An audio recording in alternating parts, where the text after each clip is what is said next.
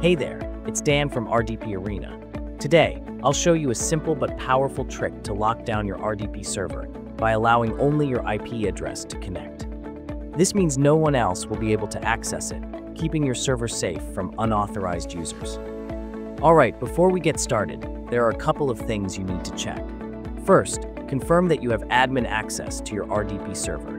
Without admin privileges, you won't be able to make the necessary changes we'll be covering. The second thing to verify is that the IP address of the computer you're using to connect to your RDP server is static.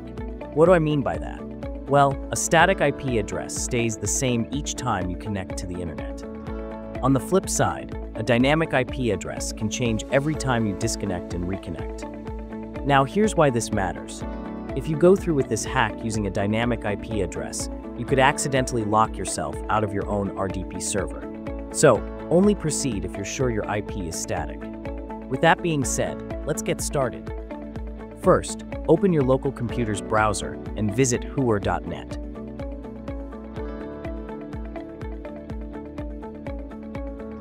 Once the page loads, you'll be able to see your computer's IP address.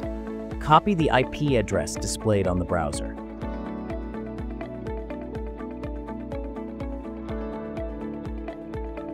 Now on your RDP server, go to the search bar and type in Run. Select the Run app from the search results to open it. In the Run dialog box, type in firewall.cpl and press Enter.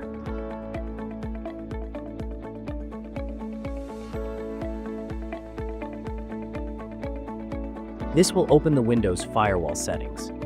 Now look at the left-hand side and click on Advanced Settings.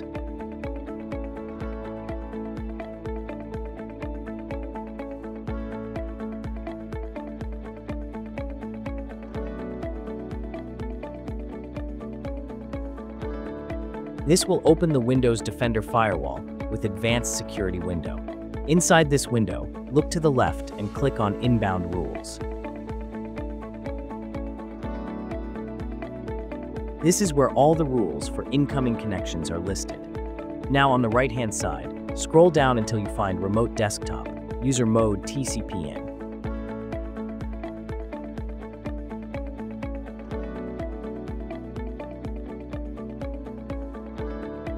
Once you find it, double-click it to open its properties. In the Properties window, go to the Scope tab.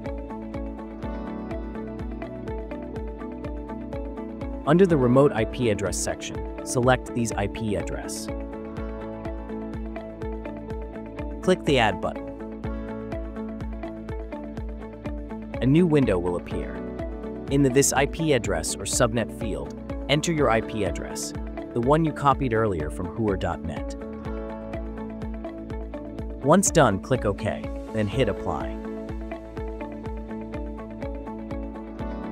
Finally, click OK, again to save the settings. Some systems may have another rule with the same name. Remote Desktop, User Mode, TCP-In. If you see another one, repeat the exact same process for it.